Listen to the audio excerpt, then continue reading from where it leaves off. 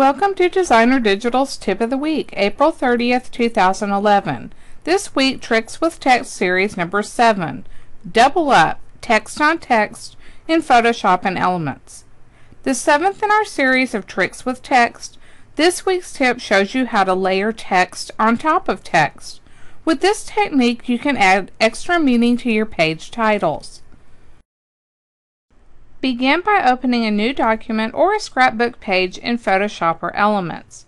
Get the horizontal type tool and choose a font name, style, size, and color here in the options bar across the top of the editing window. A chunky font works best for this technique since your layer text will show more clearly on a larger letter. Type out your title and then drag it into position on your page.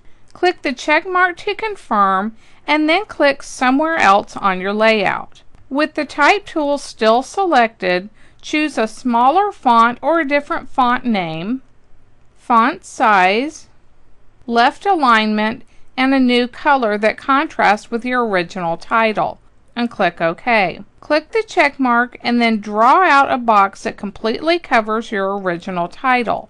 This will be a text box that will contain your accent or subtitle words. When the cursor starts blinking in the upper left hand corner, begin typing your words until the text box is completely filled. Now rasterize a layer by choosing Layer, Rasterize Type, or in Photoshop Elements, Layer Simplify Layer. Next, come over to your Layers panel and Control click or on a Mac System Command click the thumbnail of the title layer in the Layers panel. This creates a selection around the title letters. Press Ctrl Shift I or on a Mac system, Command Shift I on your keyboard to select the inverse, which will select everything except the title letters. Now click your rasterized accent layer in the Layers panel to select it and then press Delete or backspace on your keyboard. This will erase away all of the text that falls outside of your title. Press Ctrl D or Command D on your keyboard to remove the selection.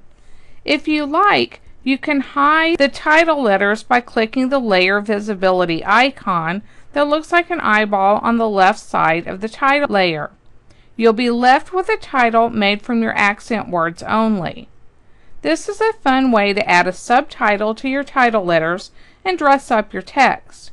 Thanks for watching and be sure to check back next week for another Photoshop or Elements tip of the week.